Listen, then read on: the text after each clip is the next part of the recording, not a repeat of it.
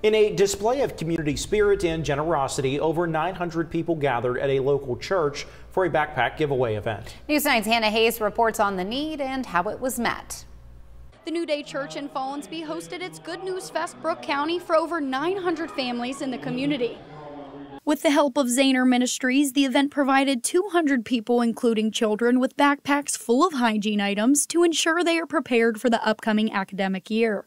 You know, our whole purpose of doing this is to help them meet the needs of the people. And the people not only need help spiritually, they need help physically, mentally, emotionally. They need somebody to tell them that there is good news in a world full of bad news. And so that's what we want to do. The giveaway was open to the public, but many people pre registered. While it provided material support, it was also an opportunity for people to connect with one another and the church community through activities, food, and refreshments. We meet people's needs, and in meeting their needs, we get the opportunity to speak to their spirit and, and tell them about Jesus. And so, this is why we live. Makes me happy. Volunteer Christy Johnson explained that after the Coke plant shut down, outreach has become a larger community need.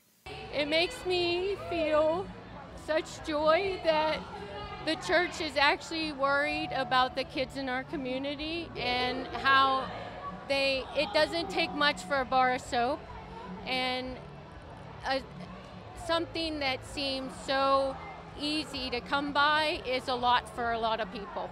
Some of the children in attendance were just as joyful to receive the items as they were to spend time together in a safe, supportive environment. They spent time taking part in a dance battle, singing gospel, and playing with friends. It's great being here.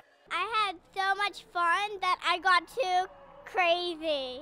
At the end of the event, individuals were chosen at random to win items like a TV, Nintendo Switch, a Keurig, and more. The church hopes to host this event annually. Reporting in Brooke County, I'm Hannah Hayes, News 9.